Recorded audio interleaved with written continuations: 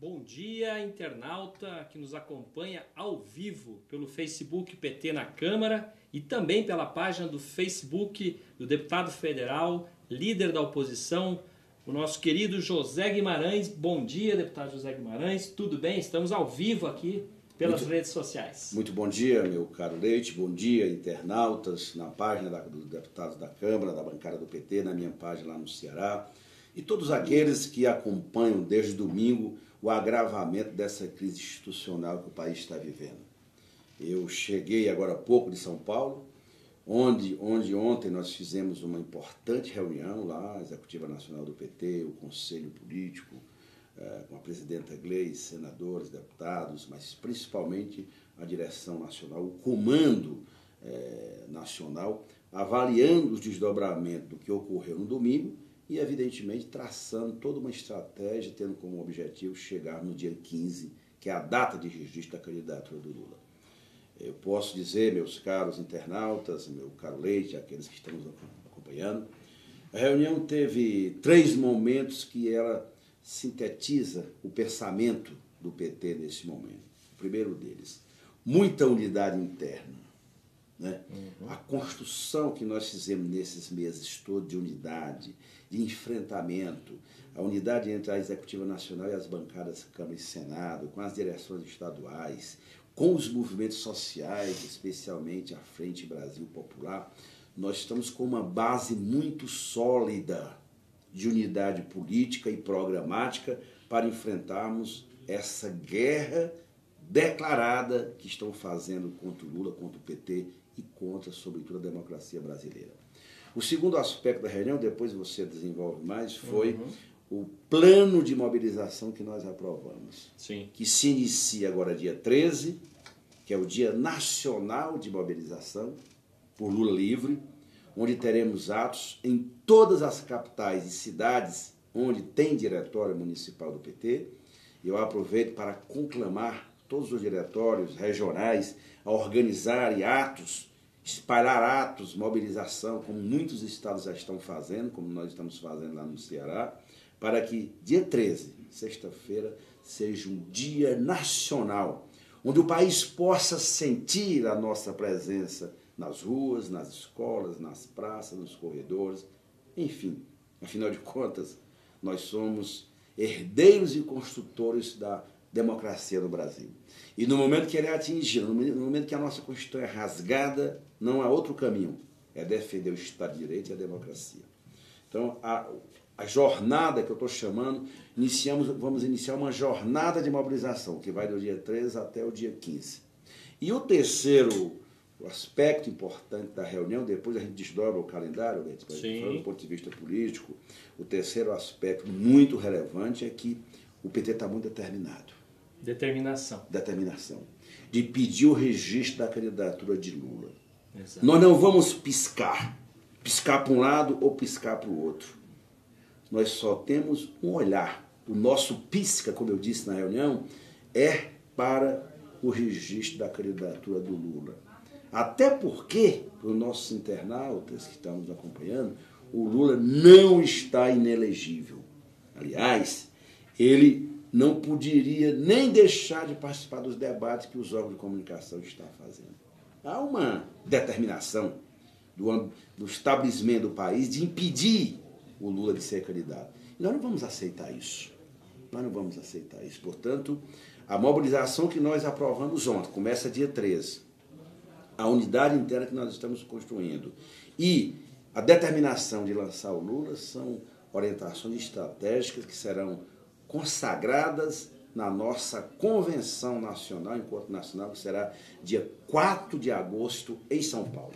Até lá, é mobilização, é resistência e vamos, no dia 20, consolidar na reunião da Executiva Nacional do PT o nosso programa de governo. Aquelas diretrizes que orientarão o novo governo do PT. O enfrentamento da crise que, que o PT está propondo com relação à crise econômica, uhum. o que está propondo para retomar o papel de desenvolvimento do país através das nossas estatais, retomar o pré-sal, retomar a política de salário mínimo e, sobretudo, a questão do emprego, que é o grande gargalho que eles com a reforma trabalhista, acabaram com o país. Além, evidentemente, e é importante nós dizermos, nós vamos revogar essas reformas. Começar pela reforma trabalhista. E vamos impedir a votação da PEC da Previdência, além de anular. As pessoas não têm dimensão. Para mim, a pior coisa que fizeram no país, Leite, nosso internato, foi aprovar a tal da PEC do teto. Teto dos gastos, né? Teto dos gastos. As consequências agora estão na LDO, que eles estão querendo votar de hoje para amanhã, uhum. onde é a expressão cabal do que o governo fez, do que sua base fez aqui na Câmara e no Senado.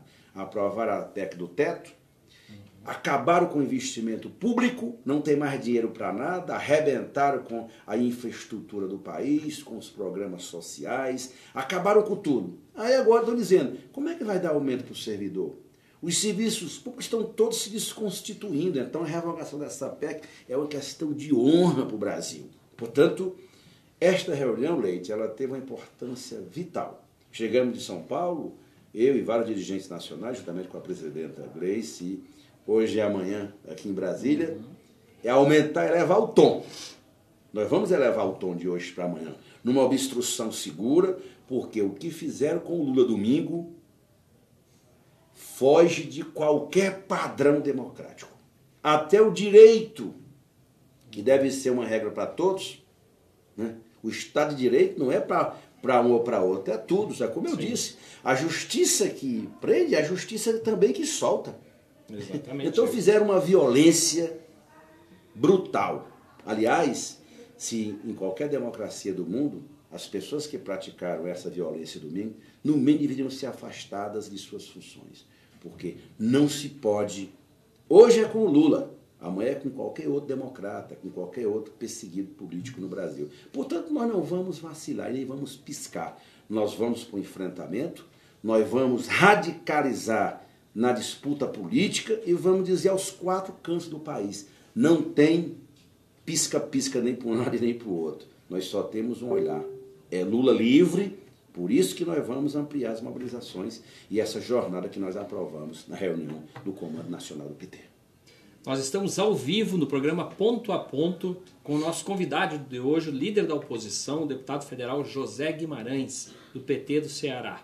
Você que está nos acompanhando aqui, já são mais de 100 internautas ao vivo. Nós queremos agradecer a sua participação e pedir também que você entre na página do deputado federal José Guimarães e curta a página. Convide seus amigos para conhecer as redes sociais do deputado José Guimarães, porque lá você vai conhecer com maior profundidade as ações e o trabalho do deputado José Guimarães. Nós estamos conversando hoje, para você que está nos assistindo a partir de agora, conversando sobre as deliberações da reunião da Executiva Nacional do PT, que foi ontem em São Paulo e que teve a participação também do nosso líder da oposição, o deputado Guimarães. Nós vamos agora aqui conversar um pouquinho mais sobre o calendário de mobilizações, né, que já começa, líder, na próxima sexta-feira, dia 13, né, é, né, com o é, um ato nacional. É. Né? O dia 13 é o início.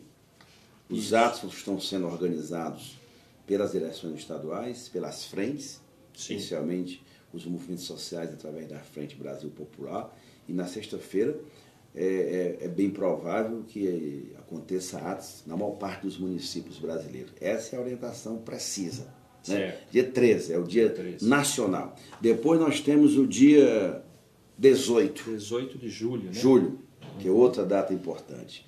Para, para os internautas que estão nos acompanhando, dia 18 vai fazer 100 dias. 100 dias. 100 dias da prisão do Lula. Uma pessoa que não cometeu nenhum crime. Prisão ilegal. Prisão ilegal, injusta.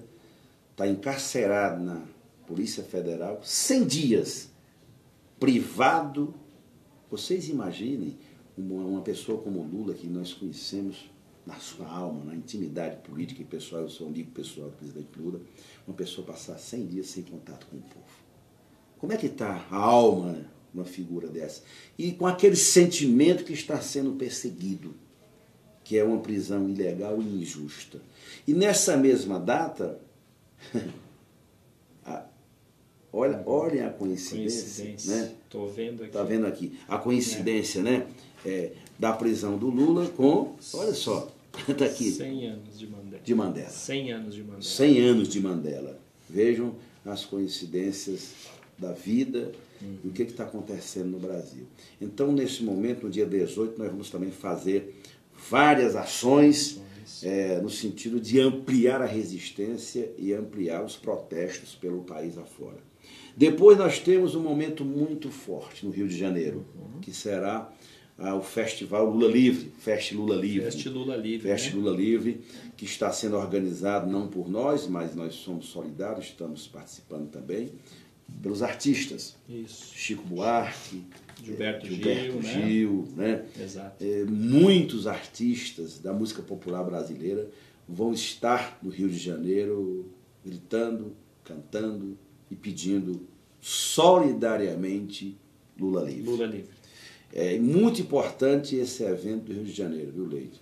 Que, aliás, é importante dizer, ontem nós recebemos um abaixo assinado puxado pela ex-presidenta do Chile, Bachelet, hum, pedindo uhum. às autoridades brasileiras Lula livre e o registro de sua candidatura. Ah, é? Ontem? Ontem. Também. Nós tivemos ontem um grande evento na cidade de Paris, na França se espalham as manifestações mundo afora. Mundo né, afora. Os jornais do mundo afora chegam a dizer que essa gincana que fizeram domingo contra o Lula, uhum. ao arrepio da lei e ao arrepio da nossa Constituição, chocou o mundo. Uma Aliás, né? é, é uma barbaridade. Aliás, o mundo ficou chocado domingo com dois fatos. Os deputados portugueses também se manifestaram. Deputados ontem, né? portugueses se manifestaram. A onda de manifestações se espalham pelo país afora. Porque o que está em jogo não é só o Lula, é, é o rompimento da legalidade democrática. Isso. É o rompimento da legalidade democrática. Aqueles que produziram essa legalidade no arcabouço de nossa Constituição Federal de 88 devem estar se perguntando: que Estado é esse? Uhum. Não tem governo, Estado de exceção? onde sequer uma decisão judicial é cumprida, um juiz de férias. O que acontece, é, é, todo mundo sabe, o juiz de plantão é responsável para tomar qualquer decisão. decisão. E por cima, Leite, o presidente do Tribunal Regional de, de Porto Alegre, de ofício, uhum. nem julgou o mandato de segurança que estava lá tramitando, de ofício mandou suspender a execução, a execução, da soltura. Isso passou de todos os limites. os limites. É por isso que se espalham pelo mundo as manifestações. Não é pouca coisa o que está acontecendo no mundo e, portanto, a, a junção disso, Lula e Nelson Mandela, nós vamos no dia, 20, no dia, tanto agora no dia 18, como o evento Feste Lula Livre no Rio de Janeiro, integram esse, uhum. essa construção que estamos fazendo aqui no Brasil e no mundo. Depois vem, evidentemente, o a Convenção Nacional do PT. E tem os, também as convenções estaduais, estaduais né, 27, 28 e 29. 29 né? São três dias, 27, 28 e 29 de julho, que nós vamos estar realizando todas as convenções estaduais do PT. Que serão atos. Também por Lula livre. Por Lula livre, pela, pela legalidade. Sua candidatura, pela legalidade. Portanto, é o, são espaços que nós estamos é, é, é, construindo. Depois disso vem a convenção que é dia 4, dia 4 de, de agosto. em São Paulo. Aí as pessoas, eu quero dialogar com as pessoas que onde eu ando pelo interior do Ceará, nos aeroportos, nos aviões, em todas as partes do Brasil, as pessoas perguntam: e aí? Lula pode ou não pode ser candidato? Isso, explica isso aí. Explica isso. Quem é que ele vai indicar se ele não puder? E é importante, pedagogicamente, a gente explicar. A jurisprudência brasileira em consonância com a Constituição Federal, para aquele internauta entender. A Constituição Federal é a lei maior. Ninguém está acima dela. Nem eu, nem o Lula, nem o governo, nem juiz, nem desembargador e nem ministro do Supremo Tribunal Federal. Todos são iguais perante a lei. E todos precisam, evidentemente, ter como referência, ninguém pode passar dos limites. É o respeito à norma maior do país, que é a nossa Constituição. O que é que diz a nossa Constituição? O trânsito em julgado, qualquer condenado em primeira ou segunda instância tem o direito sim de ser candidato. Aí a pessoa pergunta: e a lei da ficha, da ficha limpa? Uhum. Mas o artigo da Constituição também diz uhum. que o registro tem que obedecer o trânsito em julgado. Mesmo que a lei da fecha limpa diga que o candidato é, não possa registrar sua candidatura uhum. por conta da prisão, da condenação em segunda Sim, instância, por conta da lei da fecha limpa, a Constituição Federal é maior do que a lei Está da ficha acima, né? Está acima. Está é uma acima. lei específica, a lei da ficha, a lei da ficha que nós aprovamos, que nós votamos aqui. Ninguém quer fazer gincana nem respeitar. Tanto é verdade que ninguém mais do que o Lula respeita as leis do país. Quando foi, quando prenderam ele lá em São Bernardo, ele não acatou a decisão judicial? Exatamente.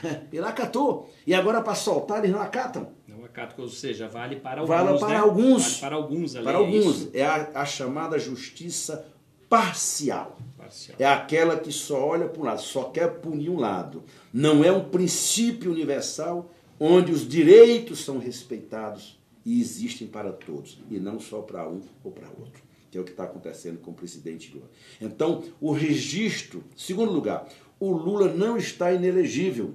Uhum. Não está inelegível, porque a elegibilidade dele só vai ser discutida no dia 15, quando nós formos entregar o registro Fazer no TSE. o registro, né? Fazer o registro. Até lá, ele tem direito de participar dos programas de televisão, dos debates que as emissoras de rádio estão fazendo de televisão. E podar o Lula de participar disso é mais uma violência que eles querem fazer. Vamos dizer para o nosso internauta que no dia 15, lá pelo dia 20 ou até o final de agosto, ah, o Tribunal Superior Eleitoral diga ah, o Lula não pode ser candidato. Mesmo assim, cabe recurso no STJ uhum. e principalmente no Supremo Tribunal Federal. Portanto, nós vamos às últimas consequências no pedido de registro da candidatura do Lula. As pessoas perguntam: e quem é o candidato? Não tem candidato. O candidato é o Lula. É o plano L, né? É o plano, só tem um plano. Pessoal, plano da ontem o jornalista pergunta: Guimarães, e qual é o plano B? Eu disse: não tem plano B, é o plano L. É. Que L? Evidentemente que é o L de Lula. Lula. Porque o Lula é única, é a única liderança política do país, no momento de agravamento da crise econômica, social e moral, com capacidade para reconstruir essa nação. Ele une ele... ele... não desune, ele só une o pequeno, o médio, o grande. Esse é o Lula que foi governo durante oito anos. Esse é o Lula que reconstruiu o Brasil em 2003, quando assumiu a presidência. Do Minha Casa Minha Vida. É o, é, é o Lula do Minha Casa e Minha Vida. É o Lula do Bolsa Família. É o Lula do Pronatec. É o Lula do FIES. Do é o Lula do ProUni. Aliás, a gente conta tanto jovem se formando e diz: estou me formando porque o Lula permitiu. Uhum. É o Lula da, da, política de reajuste anualmente do salário Sim. mínimo, que agora eles cortaram e reduziram o salário mínimo. É o Lula que foi considerado o cara pelo Obama, que reconstruiu as relações do Brasil com o mundo. É o Lula, quando eu cheguei, as pessoas falam assim, ah, o PT governou o Brasil e foi muito na área social. Eu estava pensando hoje, cheguei de São Paulo, desci no aeroporto de Brasília. Uhum. O que nós fizemos pela infraestrutura logística do Brasil? Os aeroportos. Esse aeroporto de Brasília uhum. é o mais prático e moderno do mundo. Uhum. Quem foi que fez? Fomos nós. Foi o governo do PT. PT. É o governo de Guarulhos. É o, aliás, é o aeroporto de Guarulhos. É o de Cumbica. É o do Pará. É, é, o do Rio de Janeiro. Em todo Todos. canto. Nós recuperamos todas os portos, saneamento, saneamento né, o Minha Casa e Minha Vida, as estradas federais, aliás. Transposição, né? Transposição de São Francisco, a Transnordestina que parou, a transposição de São Francisco, a Dilma, quando deixou, quando tiraram a Dilma, tinha 92% de obras executadas, só faltavam oito. Dois anos, estão prometendo agora terminar a obra no final do ano. Sim, Transposição de São Francisco. E diziam, a oposição dizia aqui dentro, fazendo firula, isso é uma irresponsabilidade, essa obra não vai dar certo. Hoje, está todo mundo pedindo socorro, cadê a transposição? Porque ela é que vai dar segurança hídrica, hídrica. para os cearenses e para os nordestinos. Nordestino. Portanto, esse é o governo. Por isso que as pessoas amam tanto o Lula. Ó, deixa eu falar uma coisa para vocês. Que, aliás, só cresce nas pesquisas. Né? Mas eles fizeram uma pesquisa dessa semana. Exatamente. O Lula vai estar bombando, porque a violência. Né? Eu, eu, vou confessar uma coisa para vocês. Eu fui informado ontem, Leite, que lá na reunião, que o Lula, a, a que ponto a violência chega? A ordem de soltura chegou por volta de 10 horas na sede da Polícia Federal. Domingo, Domingo, manhã, 10 horas 10 da manhã. horas. E eles ficaram enrolando, enrolando, enrolando, para dar tempo o Moro articular uma decisão contrária. Moro que estava de férias. De férias, passeando Férias. na Europa, em Portugal. Sim. E da hora para lá fez uma cara. Ah, isso é uma, isso é uma cinte. Descalabro, uma presepada. Uma presepada de, para não dizer outro termo, Desrespeito. desrespeito à norma jurídica, à Constituição Federal. Né? Eu pergunto, e os ministros do STF, quando decidem nos finais de semana soltar fulano ou Beltrano? Né? Exatamente. A presidenta do Supremo vai mandar revogar? Uhum. Gente, que eles revogassem dois, três dias depois, Sim. que tivesse o trâmite, mas não essa violência que O foi perpetrada, legal, né? que nos deixa indignados, revoltados e com muita disposição para irmos para a guerra e para a disputa política. Guerra no sentido democrático, Sim, porque claro. nós nascemos dentro da democracia e lutando por ela. Por isso que, ô, Leite, o que eu encontro no interior do Ceará, às vezes eu fico pensando aqui em Brasília, nesse mundo cão aqui, o que as pessoas entregam de terço, Sim. quadros, Solidariedade. cartas. Onde eu ando no interior do Ceará, a dona de casa, as mulheres abraçam nós e dizem, Guimarães, leva o meu abraço para o Lula, ele vai sair. Nós estamos rezando por ele. Isso eu nunca vi tanta solidariedade a um homem público como as pessoas. Não é só no Nordeste, não. Você entra Sim, no avião. é. Sabe qual era o debate que tinha no avião domingo? Eu saí de Fortaleza correndo para ir para para São Paulo Paulo. para recebê-lo, eu estava naquela expectativa, e as pessoas no avião, várias pessoas falaram comigo, e aí, sai ou não sai? Rapaz, mas também é Aguardando, sacanagem né? demais. Mesmo aquelas pessoas que têm um mínimo de consciência democrática, não Sim. pode conviver e nem aceitar Não. tamanha brutalidade que foi praticada e perpetrada contra o Lula no último domingo. Nos resta, Leite, a resistência.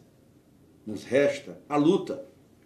E, sobretudo, nós vamos às últimas consequências no registro de sua candidatura. Nós estamos ao vivo no programa Ponto a Ponto pelo Facebook do PT na Câmara e também pela página do Facebook do deputado federal e líder da oposição José Guimarães, do PT do Ceará. Nós queremos já ir agradecendo aqui também, nós vamos conversar mais com o líder José Guimarães, mas a, a participação que só aumenta aqui. Tem gente de todo o Brasil nos assistindo, líder. E eu acho que é importante o deputado José Guimarães fazer menção novamente à PEC, a proposta de emenda constitucional que foi aprovada aqui, do controle de gastos, do congelamento de gastos, porque aí é que reside um dos grandes problemas hoje, chaves que falta remédio, falta educação, falta saúde. Por quê? Porque os investimentos foram congelados no país. E a eleição de Lula certamente é para reverter tudo isso, reforma trabalhista. Tá, Guimarães? O senhor já Claro. comentou um pouco na abertura sobre isso. É, para o nosso internauta, nós vamos votar a Lei de Diretriz Orçamentária, A LDO. a LDO. Eles vão tentar votar, nós vamos avaliar o que fazer frente a isso, porque do jeito que ela está, nós não vamos deixar aprová-la. Porque ela consagra a PEC do teto. Ela consagra, ela zera tudo a LDO. Ela proíbe qualquer investimento, não tem mais recursos para nada, a não ser o percentual da inflação de 3,5%, 4%. Não tem mais, não tem mais contratação nos próximos até 2020. 2020. Não, 22, aliás, não tem 22. 22, não tem mais aumento de salário, não tem mais nada. A LDO é a expressão cabal da imoralidade que foi feita com a aprovação dessa PEC do teto. Eu lembro que quando a PEC do teto foi aprovada, eles diziam aqui na Câmara: nós precisamos tabelar o gasto, nós precisamos controlar o gasto. o governo fez uma verdadeira farra fiscal nesse país, a começar pelas duas denúncias. O governo raspou o tacho quando as duas denúncias foram votadas aqui em 2017 Duas denúncias contra Temer, né? é, contra as duas denúncias que pediam investigação dos malfeitos do Temer. Portanto, essa, essa, eles rasparam o tacho. Ora, pegaram tudo, não tem mais dinheiro para nada. O que, que eles querem agora essa semana? Votar a LDO, consagrar a PEC do teto e mais, vender as subsidiárias do sistema elétrico brasileiro. Atenção aí, pessoal. Atenção, internauta. Hoje e amanhã tem um projeto de lei que eles estão votando, nós temos 14 destaques, nós não vamos deixar votar isso, vamos tentar, porque nós não temos força aqui, mas é importante acompanhar o voto de cada parlamentar nesse momento. Eles querem votar LDO, que é a feitura geral da tal da PEC do teto, que nós vamos revogar, e mais do que isso, querem votar o PL da privatização da venda do sistema elétrico brasileiro no que diz respeito às subsidiárias. Uhum. E nós não podemos ficar silêncio. É reação. A nossa luta, pelo que eu vi, já temos que concluir aqui, né? A nossa luta, Leite, é muito. Às vezes a gente fica. Eu não é. sei onde é que a gente encontra tanta força. Resistência, a resistência, né? Uh, tem que estar na base, tem que estar aqui, tem que estar lutando, porque afinal de contas nós representamos o povo. Eu represento o PT nacional, o país inteiro me conhece. Eu represento o estado do Ceará, tem que estar lá ajudando o governador Camilo Santana a governar o estado, cuidando dos projetos importantes de desenvolvimento das regiões. Agora, nós não podemos deixar que essa gente pratique essas, esses atos todos contra o patrimônio público nacional. É por isso que eu estou confiante. Nós vamos vencer essa parada. O Brasil vai se reencontrar com a democracia. O Brasil vive uma encruzilhada histórica e não tem outro jeito. Qualquer eleição que eles impeçam o Lula de ser candidato, ela fica comprometida. Porque a democracia, e eu termino dizendo, tem dois pressupostos: a legitimidade e o respeito às regras. O país nem tem mais legitimidade para nada. Uhum. Desgovernado. Desgovernado, não tem mais governo, não tem uma liderança que fale e reunifica o país. E não, ninguém respeita mais as regras do jogo. Qualquer juiz de primeira instância toma Essa qualquer decisão e fica por isso mesmo. A democracia é um, é um, é um, é um sistema que tem que ter tem que ser consagrado no Estado de Direito, para todos. Para o pobre, para o preto, para o rico, para o branco, para qualquer um. Não pode ser a democracia para uns e a ditadura para outros. Isso não pode. Portanto, nós vamos reagir, nós vamos trabalhar muito. São meses de uma verdadeira tortura que nós estamos vivendo.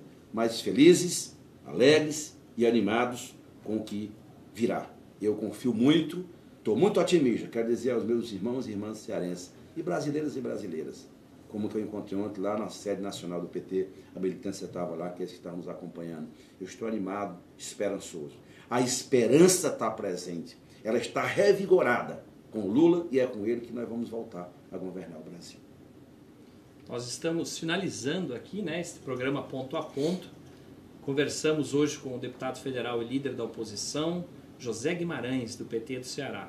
E eu vou pedir mais uma vez a você que nos acompanhou pelas redes sociais do PT na Câmara, que entre também na página do Facebook do deputado federal José Guimarães curta a página do deputado e convide aquele seu amigo, sua amiga, para conhecer também a página do Facebook do deputado federal José Guimarães, do PT do Ceará. Logo mais no nosso site também, deputado, site PT na Câmara, nós teremos uma matéria pronta com o deputado José Guimarães, onde este calendário de atividades que o deputado acabou de mencionar aqui durante o nosso programa, esse calendário estará lá colocado direitinho para que todos possam acompanhar as mobilizações e principalmente divulgar e participar dos atos por Lula livre e por liberdades democráticas no país. Então, deputado, muito obrigado mais uma vez pela sua presença, parabéns pelo trabalho, pela sua resistência, como também de toda a bancada do PT, dos militantes que estão lá em Curitiba, na vigília, estão em todos os lugares do país. 100 né, dias. 100 dias. Já fazem 90, vamos chegar a 100 dias. 100 dias. Que aqueles militantes estão resistindo em Curitiba. Eu nunca vi tanta Frio, chuva. Frio, chuva e calor. Tem tudo. Chuva. Além das ameaças As constantes ameaças. de repressão. Sim. De impedimento, inventar até um interdito proibitório para impedir aquelas mobilizações lá em Curitiba. Mas nós não temos outro caminho, é a luta. Eu me lembro que nós, vou encerrar, Leite. eu me lembro que, que eu era jovem, estudante da Universidade Federal do Ceará. Nós lutávamos muito contra a ditadura pelo ensino público gratuito. Agora, nós temos que lutar por tudo isso. Pela Carta Democrática que nós aprovamos, os Constituintes de 88, porque eles querem, estão rasgando todo dia. E nós precisamos estar muito juntos, solidariamente. Eu estou muito esperançoso que nós vamos vencer essa guerra. E as injustiças, ninguém gosta de injustiça. E eu tenho um ditado que minha mãe, de 93 anos, morando lá no distrito encantado de Xeramobim, meu Ceará, ela sempre diz, meu filho, aqui se faz, aqui se paga. Aqueles que estão fazendo isso contra o Lula, eles vão pagar ainda aqui. Muitíssimo obrigado àqueles que nos acompanharam. Desculpem eventual discordância e a minha sinceridade. Não tem outro jeito de discutir o país senão da forma que eu entendo, com transparência e, sobretudo, com determinação para a luta e para a resistência. Muitíssimo obrigado. E vamos fazer um brinde com água aqui é, para lembrar, é, inclusive, lembrar. que a transposição seja finalizada. É, finalizada né? e que a água chegue aos, ao Nordeste e ao Cearense. É isso aí. Saúde. Saúde. E luta.